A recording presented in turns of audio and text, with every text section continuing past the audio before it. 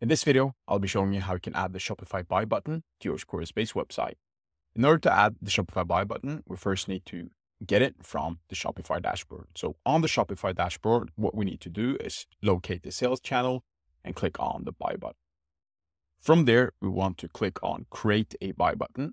And in this video, I will be focusing on the product buy button, but you also have the option to do it for a collection. But as I said in this video, I will only be focusing on this product buy. So mm. when clicking on that, you will have the option to choose your products. I only have one product on the Shopify store, so I will click that. If you cannot find your products, you also have the possibility to search for it here. So it should be pretty straightforward. Then click select, and then we will be prompted over to this side where we can do some basic customization for the Shopify buy button. We can change some things here and there. I will not go that much in depth on this, but you can test it out yourself and also see what you like and uh, try to match the buy button towards your brand. From here, what I then want to do next is just click on the next button.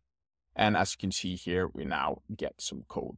So let's just copy this code and head over to Squarespace. Over at Squarespace, what we want to do is come into the page that we want this buy button to be on. So let's just do the home page, click edit, add a block, which want to the code block, but we can also do it with embed block. I'll just do it as a code block here for this demonstration. Come into here and then add the Shopify code that we got from Shopify. Let's just drag this a little bit out and click exit. And as you can see now, the buy button for the Shopify is on our website.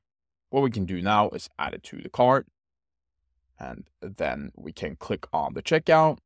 And as you can see here, the checkout window opens. Now this Shopify store is not currently active, but what the user then would do is prompt in the information and also the payment and pay. And whenever they paid, the order would come up in the Shopify dashboard. That was a very simple tutorial on how you can add the Shopify buy button to your Squarespace website. If you find it useful, please leave a like and subscribe. And if you want me to build your Squarespace website, the links are down below. And as always, have a great day.